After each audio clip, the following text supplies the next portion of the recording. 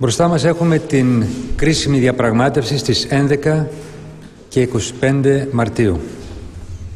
Αφορά στο μέλλον της Ευρώπης αλλά και της χώρας μας. Ενημέρωσα τους πολιτικούς αρχηγούς ότι η θέση μας σε αυτή τη διαπραγμάτευση είναι ότι πρέπει να υπάρχει μια συνολική λύση. Και αυτή τη μάχη θα δώσουμε.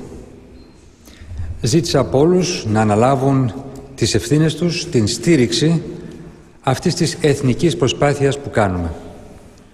Αυτή η προσπάθεια αφορά όλους μας. Πολλά θέματα είναι ανοιχτά, δηλαδή σε διαπραγμάτευση.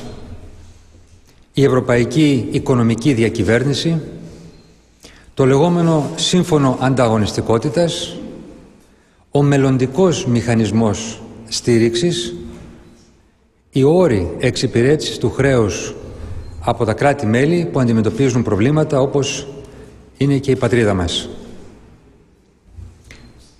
Υπάρχουν και άλλα θέματα όπως ε, τα θέματα της έκδοσης ευρωομολόγων και επιβολής φόρου επί των χρηματοπιστωτικών συναλλαγών που είναι μια πρόταση που σήμερα υπερψηφίστηκε με σημαντική πλειοψηφία στην Ευρωβουλή. Σε κάθε περίπτωση θεωρούμε ότι η σταθερότητα της Ευρωζώνης απαιτεί συνολική λύση και σε αυτή την συνολική λύση θα επιμείνουμε. Ήδη δουλεύουμε σκληρά και δημιουργικά για μια τέτοια λύση στο Ευρωπαϊκό Συμβούλιο. Αλλά η λύση πρέπει να είναι και πραγματική λύση. Η Ευρώπη δεν μπορεί να ευνηδιάζεται από τις αγορές ούτε να φαίνεται ότι σέρνεται πίσω από αυτές. Δίνουμε μια πραγματική μάχη δημοκρατίας, δημοκρατίας στην Ευρώπη, προκειμένου οι αγορές να λειτουργούν προς όφελος των πολιτών. Βασική μας επιδίωξη είναι η Ελλάδα να σταθεί στα πόδια της όσο το δυνατόν γρηγορότερα.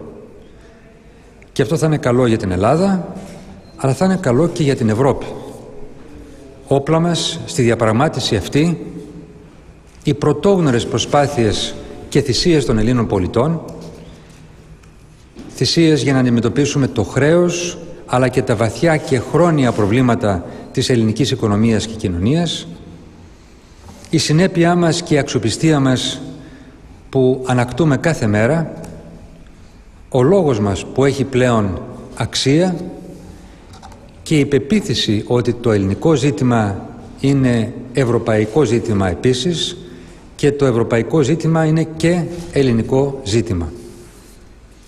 Δίνουμε μια μάχη για να πετύχουμε ό,τι καλύτερο για τη χώρα και θα συνεχίσουμε όλοι μαζί την προσπάθεια να σταθεί η πατρίδα στα πόδια της για να αλλάξουμε και να μην ξαναζήσει παρόμοιες δύσκολες καταστάσεις και στιγμές. Πίστη μου πάντα θα τα καταφέρουμε. Ευχαριστώ.